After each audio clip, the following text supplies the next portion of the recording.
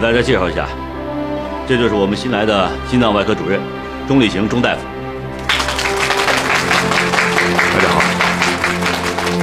我们的心脏外科搭配是两个主任医师，一个副主任医师，四个主治医生，四个住院医生，十二个护士，是按整体的护理模式搭配的。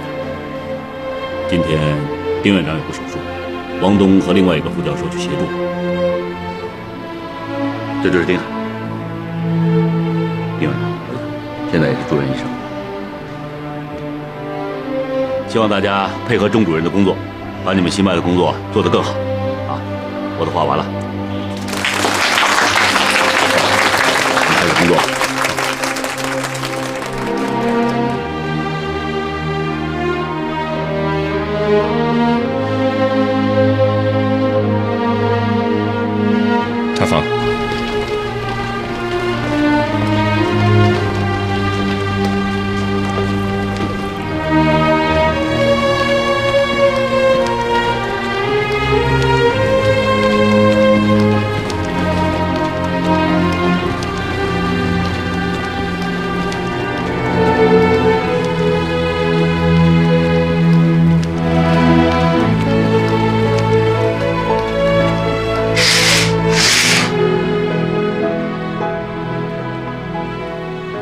一号床，六十五岁，心脏粘液瘤，六天前手术，术后 ICU 监护，一切正常。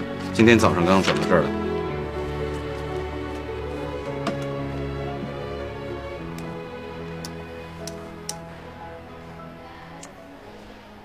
已经六天了，导尿管为什么还不拆除？嗯患者年龄大了，做这么大的手术，他不愿意动。护士长，马上把导尿管拔了。你得早点下床，早点活动，这样对身体才有好处，防止伤口粘连，也有利于排气。六十五岁，你不是老年人，是中年人。你要对自己有信心，病才能好得快。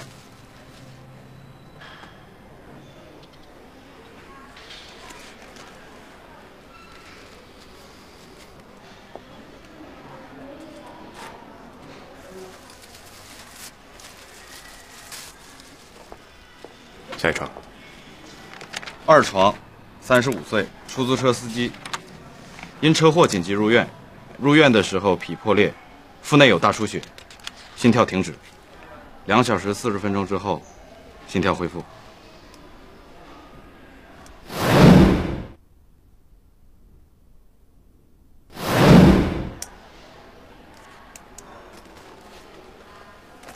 目前患者情况良好，可以进普通的流食。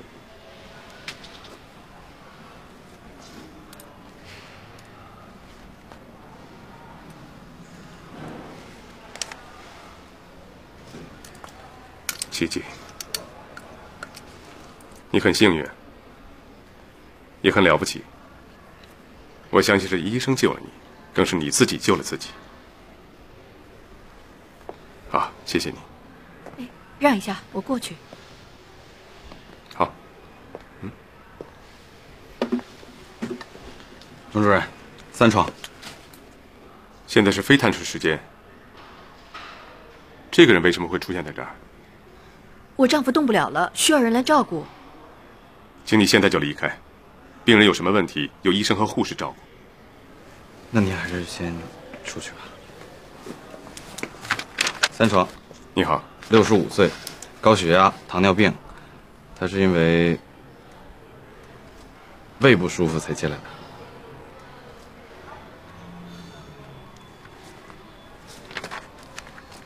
他的情况很简单，就是因为普外没有病床了，所以才到咱们这儿。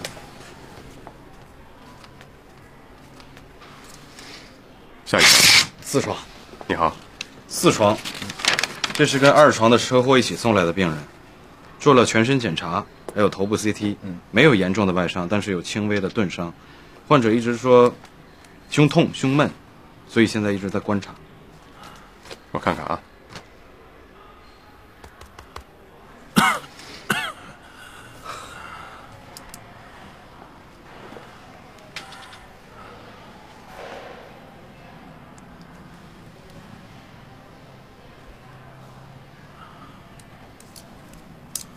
送他去做个胸部 CT。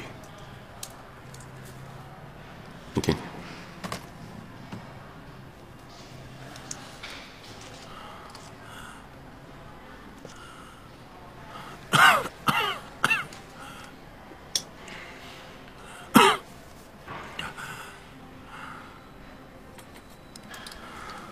气胸。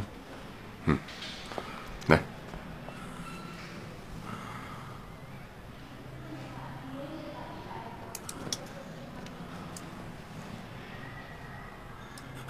你们干嘛干嘛？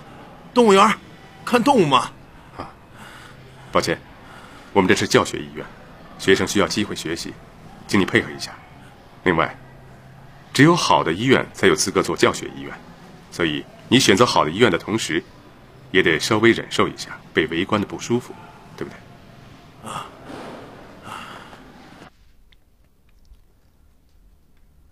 好，今天的查房结束了。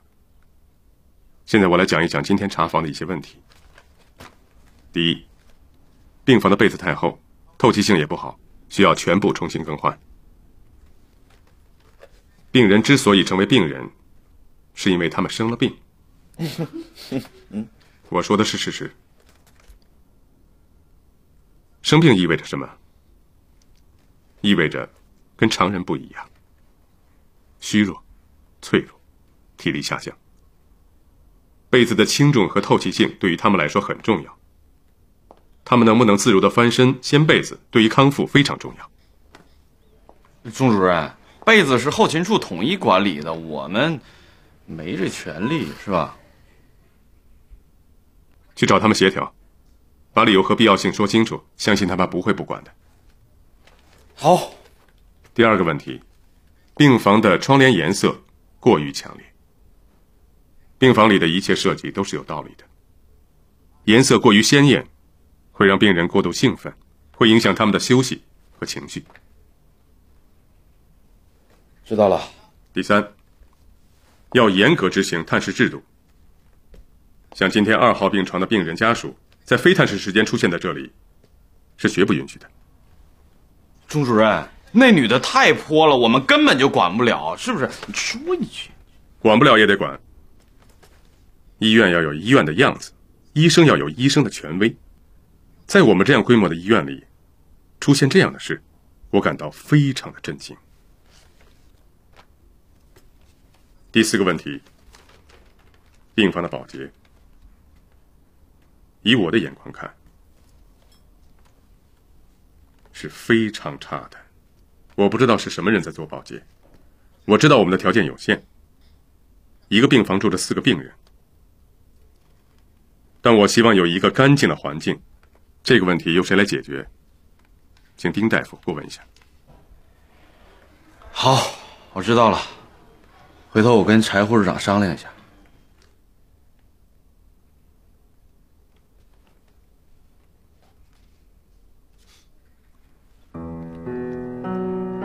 我知道，你们一定期待我说一些更加爆破性的话题。专业、更深奥，可我却抓住这些小事不放。我可以告诉大家，作为一个医生，什么叫专业？这就叫专业。从衣着仪态到病房管理、卫生、生活用品的配置、饮食的安排，治病是一种态度，也是一个系统工程。希望大家要时刻记住这一点。下面我说一些技术性的问题。一号床的导尿管为什么超过了二十四小时还不撤？这是谁决定的？嗯，这不是人道不人道的问题，也不是有没有同情心的问题。有的时候，医生需要冷静。我不认为这是冷漠或者冷酷，而是职业的冷静。每一个医生都知道操作规程是什么，而为什么不按照操作规程去做呢？这些规程的背后，是一个个的经验，有的甚至是血的教训换来的。它不是枯燥的文字被印在纸上，被挂在墙上，他们是活的，是需要我们执行的。这些背后是有数据支撑、有生理指标支撑的。好，我问你，是术后出现粘连、重新手术对病人的身体伤害大，还是由病人自主下床小便去忍受一些必要的痛苦对身体的伤害更大呢？钟主任，可是病人如果摔倒的话，会导致伤口撕裂，家属会投诉的。哼，这是个伪问题。护士们在做什么？为什么要让病人摔倒呢？钟主任，护士不负责为病人接大小便。再说，现在护士人手也不够。什么叫人手不够？我看见护士们很清闲，为什么不能跑起来呢？关于护理的问题，我们找时间再谈。三号病床那位老先生，明明是心脏病，为什么说是胃炎？对不起，这是家属要求的，我们也没办法，是吧？就算是家属的要求，胃炎是内科病，怎么会住在外科病房呢？稍微有点医学常识的人就会知道，你不是想骗他们吗？嗯，骗人也要骗得高明一点，对吧？嗯，病人明天做手术了，现在改病名不现实，以后我们会注意的。好，这次就这样。现在我们说四床气胸病人。这不是任何人的错，气胸的发生和发展需要时间，只是今天发展到了一定的程度，正好到了可以诊断的临界状态，所以这件事情上面，坚持留院观察是正确的决定。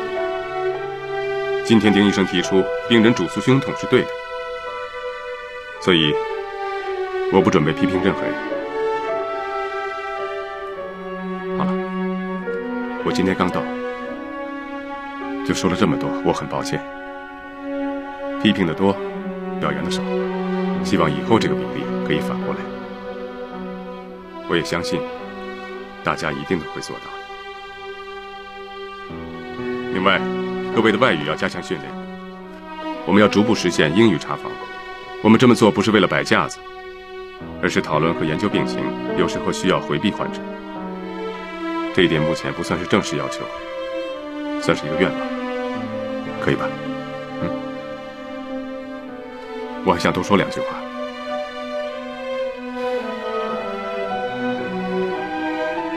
我们心外医生，在所有外科医生里，是最辛苦、最具风险的，因为我们面对的是活动的器官、跳跃的心脏。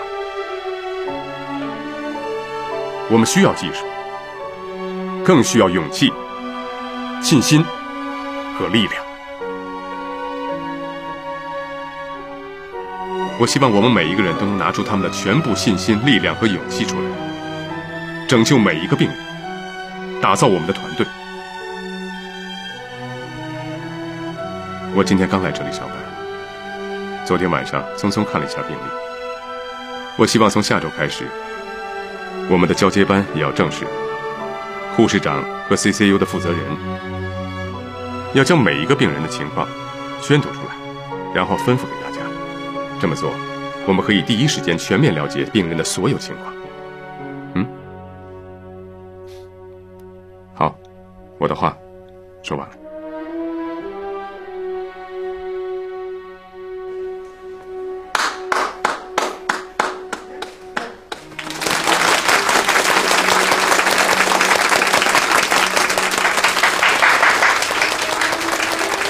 丁海，你给我来一下。气胸在什么样的情况下需要留院呢？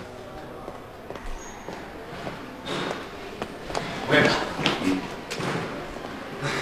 怎么样？这个住院组不好当吧？全是些鸡毛蒜皮的破事儿。别小看这些事情，都是大事情。待会儿啊，你带钟主任去他宿舍一趟，帮他安排一下，告诉他餐厅在哪。跟总机说一声，给他按个电话，告诉总务处给他送个沙发去，别忘了啊！吴院长，我是大夫，我不是保姆。朱院总就是大保姆、大总管，你就受着吧啊！学医的命苦。